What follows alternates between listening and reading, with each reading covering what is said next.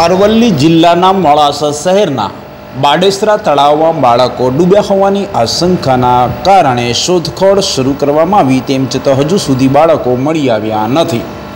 ઝૂંપડા વિસ્તારમાં રહેતા શ્રમિક પરિવારના બે બાળકો ડૂબા હોવાની આશંકા સેવવામાં આવી રહી છે. બાળકોના ચંપલ અને કપડાના આધારે બાળકોની તળાવમાં શોધખોળ હાથ ધરવામાં આવી રહી છે. મોડાસા પોલીસ અને એકસો આઠ એમ્બ્યુલન્સ ઉપરાંત ફાયરની ટીમ પણ ઘટના સ્થળે પહોંચી ગઈ છે. બાળકો ડૂબ્યા હોવાની આશંકાએ પરિવારે આક્રંદ કરી રહ્યો છે. તળાવમાંથી ડૂબેલા બાળકોની શોધખોળ હાથ ધરવામાં આવી છે અને તપાસ કરવામાં આવી રહી છે. અરવલ્લી જિલ્લાના મોડાસા શહેરના બાડેસર તળાવની આ ઘટના છે કે જ્યાં બાળકો ડૂબ્યા હોવાની આશંકાને લઈને શોધખોળ શરૂ કરી દેવામાં આવી છે.